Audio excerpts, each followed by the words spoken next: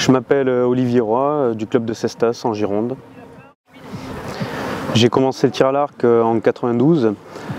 j'ai pratiqué le tir classique pendant plusieurs années avant de participer au championnat du monde de tir campagne en arc nu.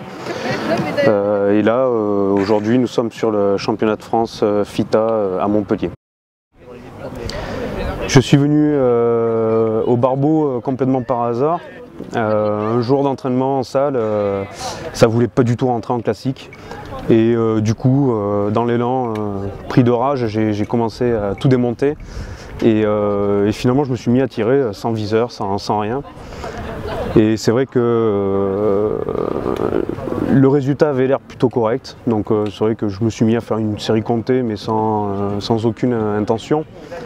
Et, en rentrant à la maison, par curiosité, j'ai été voir les classements nationaux et, là je me suis dit que peut-être il y avait un truc à faire en effet. Donc de fil en aiguille, c'est vrai que je me suis plutôt spécialisé sur le, sur le barbeau.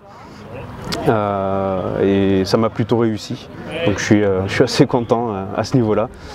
Donc voilà, mais aujourd'hui je suis revenu sur le, sur le classique pour, pour, essayer de venir gratter quelque chose aux grands champions qui sont là. Pour moi, le, passage de, l'art classique au barbeau s'est fait assez naturellement et, assez facilement.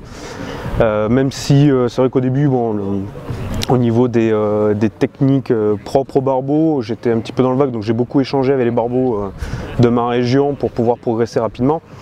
Mais je pense surtout que le, barbeau m'a beaucoup apporté au niveau sensation de tir. C'est quelque chose où on apprend à ressentir sa flèche. Et je trouve que ça m'a été très bénéfique aussi pour, ma progression en classique, puisque depuis que je fais du barbeau, j'ai mes scores en, classique qui ont, euh, qui ont beaucoup évolué et, j'ai pas mal progressé à ce niveau-là.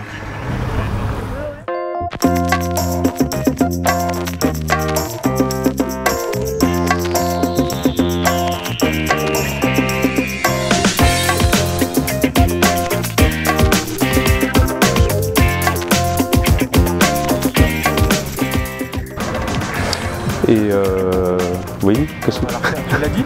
Non.